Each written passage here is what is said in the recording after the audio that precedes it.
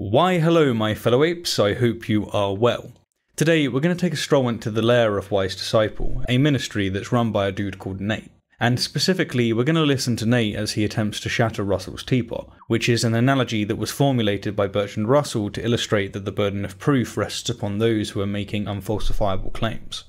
But don't worry, we'll be sure to pour ourselves a hard coffee from Russell's teapot as and when Nate mischaracterizes it. And yes, I know what I've done there, I've made a positive claim, and so now I have a burden to prove it. Or do I?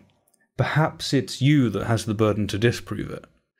Let's find out. Over the last couple of weeks, I decided to carve out some time and talk about the burden of proof. What is it? And more importantly, in debates and regular conversations, do non Christians or Christians shoulder the burden of proof? The first video caused some consternation amongst some in the atheist community, and so I answered some of their comments in last week's video. You know, I'm tempted to also provide commentary on Nate's first video and the answers he offered to those questions he mentioned, but I'll leave this up to you, the audience. If you want to see me respond to his other burden of proof claims, then please do let me know through the comments. If you do, I'll likely do so on Casually Debunked. Here, however, we're focusing on Russell's teapot. Walking down this path, so to speak, and seeing some of the responses, particularly by those who disagree with me, it just brought back uh, this distant memory of something that I was wrestling with maybe 10 years ago now, maybe more than that. It was called Russell's Teapot. Russell's Teapot is named after the famous atheist Bertrand Russell, who, by the way, Bertrand Russell was a massive intellectual for his time. I strongly admire Russell's contributions, uh, his writings, in particular, he was a very smart man. But he came up with this challenge to Christianity that centered on a thought experiment. Imagine a teapot floating in outer space.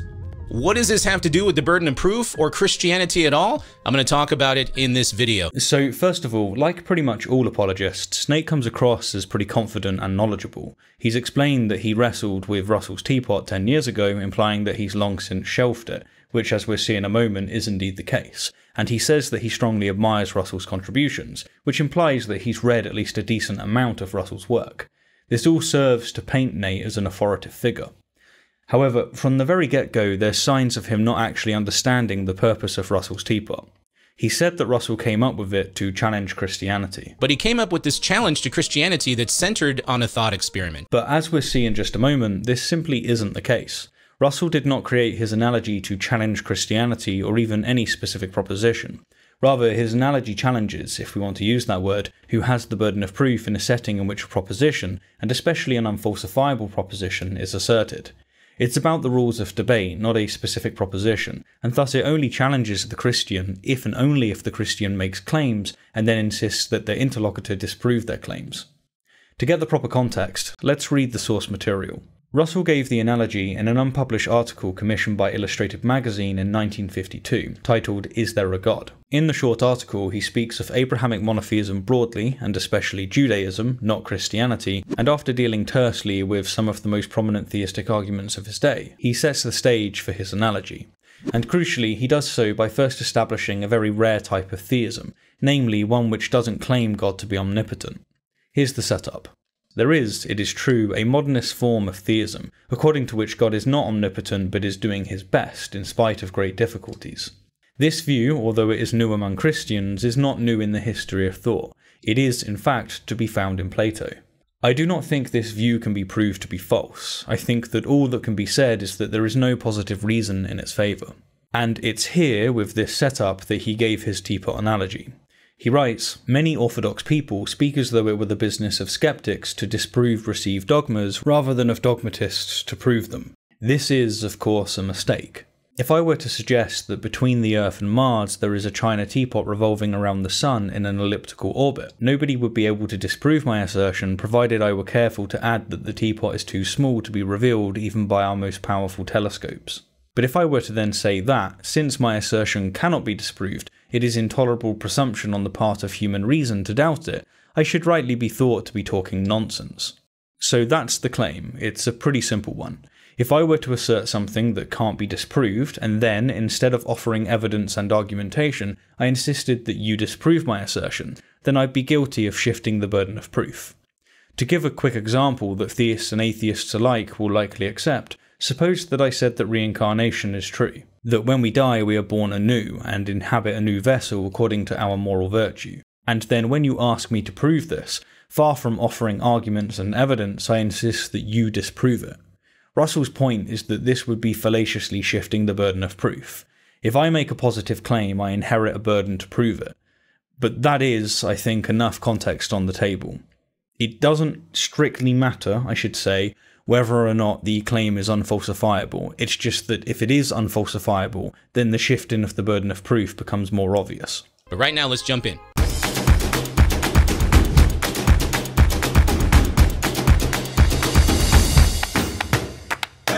As I've mentioned very often when discussing the existence of God with atheists, uh, agnostics, skeptics, even some Christians, the notions of the burden of proof and supporting evidence are raised. Sometimes atheists and skeptics will say that they don't shoulder the burden of proof because they're not the ones making claims. Yes, and sometimes that's definitely the case. Many atheists, perhaps most, don't claim that God doesn't exist or that Christianity, Islam, Hinduism, and or Norse religion is false. These atheists don't carry a burden of proof because they're not issuing a positive claim. Other atheists, however, such as myself, will say that certain gods don't exist, or that specific religions are false, and this does come with a burden of proof, because it's a positive claim. Basically, the dialectic is going to dictate who has burdens to fulfill, and again, Russell's teapot addresses a very specific dialectic, one in which those who make positive claims insist that their interlocutors disprove their claims. Now, this is important to talk about, as good evidence provides a foundation for a reasonable inference on this issue, as well as just talking about this idea uh, that those who make claims must support them with some kind of evidence. So, for example, if God exists, then there should be some evidence to support claims of his existence. And as Christian casemakers continue to show, there are a number of evidences that support the existence of God. Well, many would disagree, including Russell, who, in his article no less, succinctly tackled what was in his time a few of those arguments, a few of those alleged pieces of evidence. Some theists, for instance, claim that life itself is evidence of God, whereas some atheists would claim that life as we know it, with all of its natural evil, is actually evidence against God, at least the triomni God. But more to the point, and to reiterate, Russell issued his teapot analogy in specifically the context of the theist insisting that the atheist disprove God's existence. If, instead, the theist presents and defends evidence for the arguments in favour of God, then they're not shifting the burden of proof, and hence the analogy isn't relevant. Unfortunately, some atheists believe that there can be no evidence for God whatsoever, and it is from this mistaken presupposition that a particular strategy involving a teapot floating in outer space has emerged. Okay, this is an utterly bizarre take. It's a giant red flag. Before explaining why, though, let's replay Nate's words so that they're fixed in our mind. Unfortunately, some atheists believe that there can be no evidence for God whatsoever, and it is from this mistaken presupposition that a particular strategy involving a teapot floating in outer space has emerged. So, to even suggest that Russell came up with his teapot analogy based on the presupposition that there can be no evidence for God whatsoever is to fundamentally mistake him. In his article, Russell issued a response to several alleged pieces of evidence put forth by theists, and his setup for his analogy very clearly is in context of theists refusing to defend their claims with logic, reason, or evidence. What's more, suppose that Russell, or indeed any atheist, did presuppose that there can be no evidence for God's existence. Why, then, would he create, in Russell's case, or employ, in my case, for instance, an analogy that pertains to the evidential burden of proof in context of God's existence? The narrative that Nate is spinning here is not only false, but it's complete nonsense. So the argument goes, we cannot conclusively prove that there is not a teapot orbiting the sun somewhere in outer space. But, given the lack of evidence for such a teapot, its likelihood is so low that the reasonable conclusion should be that it does not exist. No, that's not what Russell's teapot analogy expresses. The analogy doesn't draw any conclusion on the existence of the teapot and it certainly doesn't draw a probabilistic conclusion on the existence of the teapot. Further still, it definitely doesn't, as Nate claims, draw a probabilistic conclusion on the existence of the teapot based on a lack of evidence. And it definitely, most certainly, doesn't draw a probabilistic conclusion on the existence of the teapot based on a presupposition of there being no evidence for the teapot's existence, or by analogy, God's existence. Nate is impressively confused here. But it's for a reason which he'll reveal now. Likewise, we cannot conclusively prove that God does not exist, but given the lack of evidence for God, the reasonable conclusion should be that he does not exist. This particular argument originated with philosopher Bertrand Russell in a letter that he wrote in 1958. And here's part of that letter. I do not think the existence of the Christian God any more probable than the existence of the gods of Olympus or Valhalla. To take another illustration, nobody can prove that there is not between the Earth and Mars a china teapot revolving in an elliptical orbit, but nobody thinks this sufficiently likely to be taken into account in practice. I think the Christian God just as unlikely. And this reference explains, at least partially, why Nate is so confused. He's referenced a personal letter from 1958 rather than the unpublished article commissioned in 1952 by Illustrated Magazine. Indeed, it seems that Nate wasn't wrestling with Russell's teapot 10 years ago, but rather a completely different analogy that Russell gave, fair enough, but one that has absolutely nothing to do with the burden of proof. Let's bring up the letter. Russell's words just before Nate chose to start the quote state, I ought to call myself an agnostic, but for all practical purposes, I am an atheist. And to then illustrate just how unlikely he finds Christianity to be true, he gave an analogy using a celestial teapot. Hence, Russell was illustrating to Mr. Major and Mr. Lewis just how unlikely he considers Christianity to be. Note again that this has nothing to do with the burden of proof. Now, while Russell has used a celestial teapot as an analogy, this obviously isn't in the context of the burden of proof. I've used a unicorn as an analogy multiple times to give an example, but each analogy has served a different point. In his 1958 letter, Russell used a celestial teapot to illustrate how unlikely he finds Christianity to be true, whereas in his 1952 article, he's used a celestial teapot to illustrate where the burden of proof lies. Hence, Nate isn't even referencing the source material that he's confidently claiming to rebut. Now, this wasn't just Bertrand Russell that said this. A number of decades later, Richard Dawkins commented on Russell's idea in The God Delusion. This is what he said Russell's point is that the burden of proof rests with the believers, not the non believers. And now, somehow, things are getting even more off track. Dawkins' quote here is explicitly in reference to Russell's 1952 article, not the 1958 correspondence that Nate is convinced Russell's burden of proof analogy comes from. Again, the burden of proof is only relevant to the 1952 article, and any philosophical source will make that clear. There's no way to read the 1958 letter to get the impression that Russell was talking about the burden of proof. If Nate had read Dawkins' book, or even just a few words above where he took the quote, he'd have probably realized this. Mine is the related point that the odds in favor of the teapot, or spaghetti monster, or Esmeralda and Keith, unicorn, whatever, are not equal to the odds against. So there are a couple of problems that I just want to talk about in the rest of this video with elements in Russell's and Dawkins' comments. All right. First, they both assume that there is no evidence for God. No, they don't. Let's start with Dawkins. In the chapter reference, Dawkins is talking about various levels of credence in theism. He doesn't at all presuppose that there's no evidence for God's existence. Nate is simply factually incorrect here. Likewise, Russell, in his 1952 article, doesn't presuppose that there's no evidence for God's existence. Russell drew his analogy in reference to a variation of theism, and then illustrated that the burden of proof doesn't rest upon the non believer.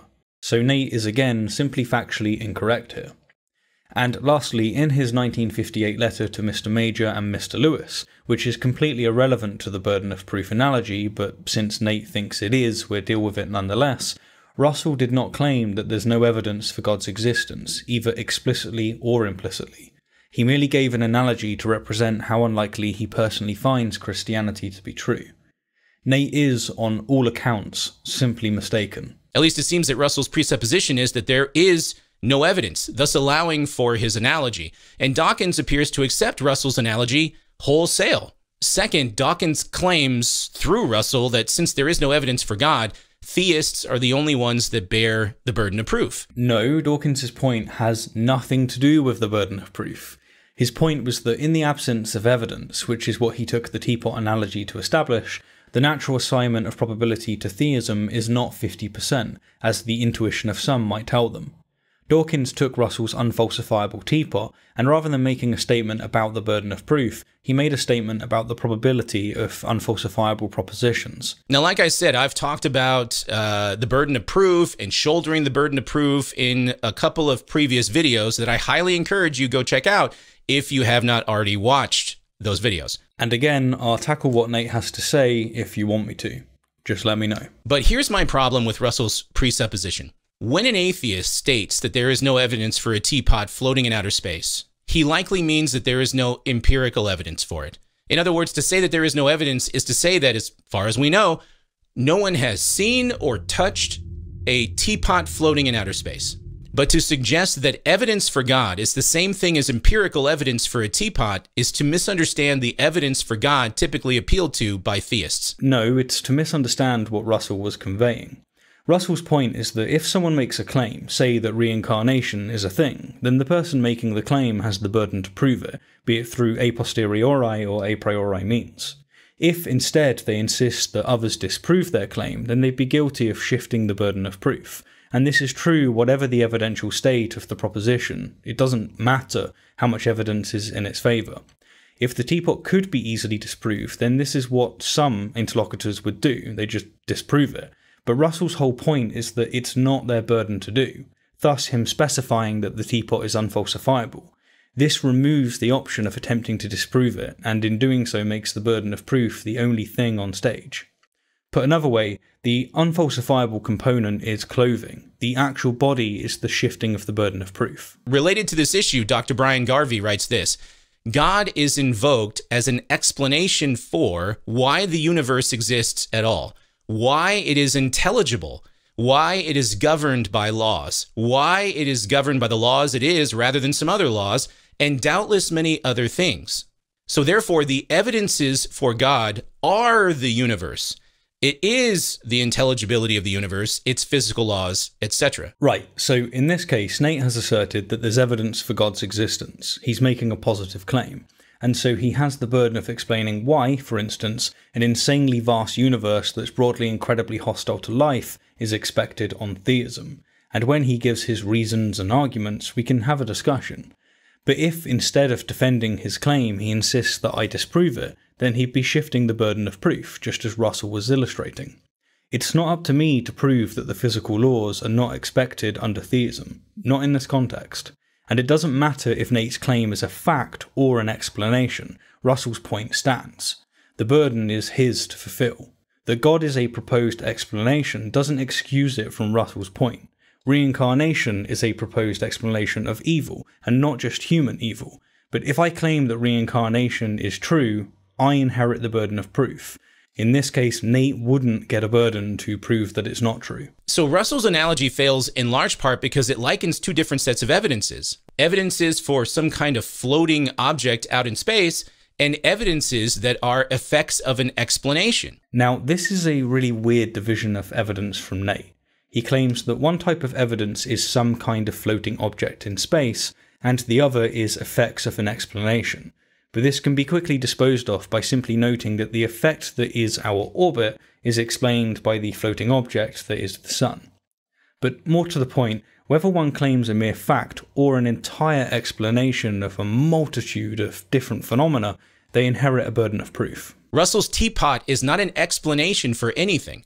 It simply exists as a rhetorical device. Or, as Nate said earlier, it's a thought experiment, an analogy to illustrate the locus of the burden of proof. God, on the other hand, is an explanation for a number of things. Now, I'll get to why this matters with the burden of proof, so stick with me on this. But with regard to the universe itself, consider the Kalam cosmological argument. Everything that begins to exist has a cause.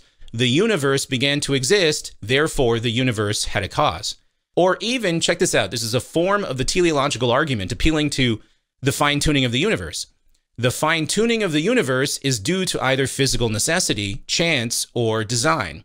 It is not due to physical necessity or chance, therefore, it is due to design. In both arguments, here's what I want you to see. In both arguments, a causal agent, namely God, is inferred as being the explanation for the universe, as well as its features. Goodness me, does Nate's confident confusion have no bounds? He claims that the two arguments he's just given would get us to God. In both arguments, here's what I want you to see. In both arguments, a causal agent, namely God, is inferred as being the explanation for the universe, as well as its features. But neither of these arguments, if sound, would get us to God. The Kalam would merely establish that there's at least one uncaused cause, and that's it. And the teleological argument that Nate gave wouldn't get us to a single designer, nor a designer that still exists, nor one that's omnipotent, and certainly not one that communicates through angels, as the three Abrahamic religions insist. This does not mean that God is like a physical object floating in space like a teacup. It just means that God is an inference to the best explanation. Considering God as an explanation for the universe, as well as considering like the universe as evidence for God, Dawkins' comment on the burden of proof needs to be reevaluated, in my opinion. Well, in my opinion, Nate should reevaluate his take on Russell's teapot and Dawkins' additional point, because it's almost as if he hasn't read either. Whether or not Russell's floating teacup actually exists is irrelevant to the universe. Like I said, his teacup is not an explanation for anything. And Russell never claimed it to be. I think, uh, I think I'm about done with this. So, one's worldview of the universe is not devoid of explanation if Russell's teacup does not exist. However, if God does not exist, there must be another explanation for the universe and its particular features. No, this also isn't true. Just as theists claim that there's no explanation for the most basic facts, so can atheists. In fact, everyone's worldview is going to come down to at least one fact that has no justification. It's got no explanation. Theists that assume God to be a brute fact will tell you that there's no explanation for why God exists, he just does. And theists that assume that God is a necessary being will tell you that there's no explanation for why necessary beings exist, they just do, even if it's a singleton set. An atheist, if they're so inclined, could say that there's no explanation for why the universe exists, and in doing so, they'd be committing themselves to way lighter ontological baggage than theists do. Also, atheists could just say the words that theists despise. They could say, I don't know.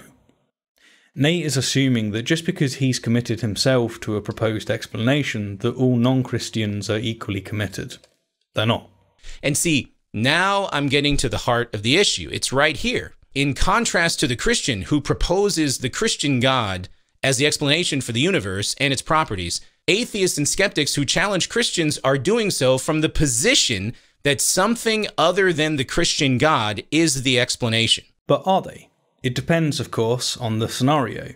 If Nate claims that God is an excellent explanation of, say, the parasitic reproductive system of wasps, evolution by natural selection, and the great many mass extinctions of the past, which is to say, features of the universe, then I'm going to ask him to defend his assertion. Notice here that I haven't committed myself to an alternative explanation of the universe, hence, I don't have a burden like Nate. I'm not claiming to have an explanation. And they do that because they attempt to disprove Christian arguments and conversations and debates, and because they conduct their lives in a manner as if the Christian God does not exist. That's their position on this issue.